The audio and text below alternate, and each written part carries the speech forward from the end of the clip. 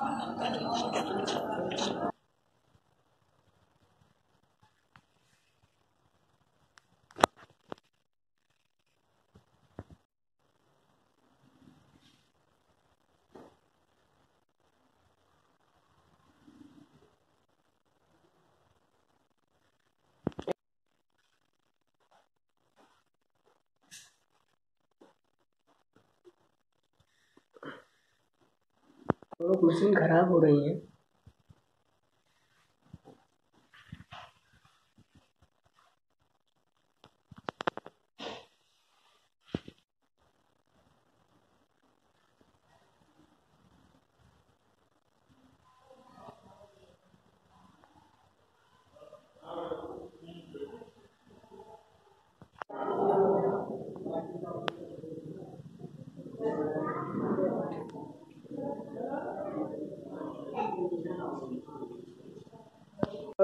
Pachpedwa CHC समेत तमाम CHC में भारी भरकम लागत के साथ ऑपरेशन थिएटर का निर्माण करवाया गया।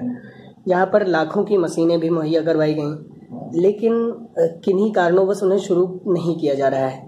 क्या कारण है जिस कारण से ओटी शुरू नहीं किया जा रहा है और ये कब तक शुरू हो सकता है और जो मशीनें खराब हो रही हैं उसका जिम्मेदार कौन होगा? मैन पावर ना उपलब्ध होने के कारण वो सारी चीज़ें जो ऑपरेशन थिएटर में होनी चाहिए और जो उपलब्ध हैं, वो सब निष्क्रिय हैं। उसके लिए न सर्जन है हमारे पास, न हमारे पास सर्जिकल टीम है। और जब तक सर्जिकल टीम नहीं है, तब तक उसका उपयोग हो नहीं सकता। क्योंकि अभी पीएससी पे जितने स्टाफ मौजूद हैं डॉक्टर्स मौजूद हैं, केवल एम बी और उनके स्तर पे उसका उपयोग नहीं हो सकता। ज़िम्मेदारी तो जो इंचार्ज है वो कैसे सुरक्षित रख सकते हैं, बस इतने ही हैं। उपयोग नहीं हो पा रहा है, उसके लिए तो खैर ना वो जिम्मेदार हो सकते हैं, ना फ़िलहाल।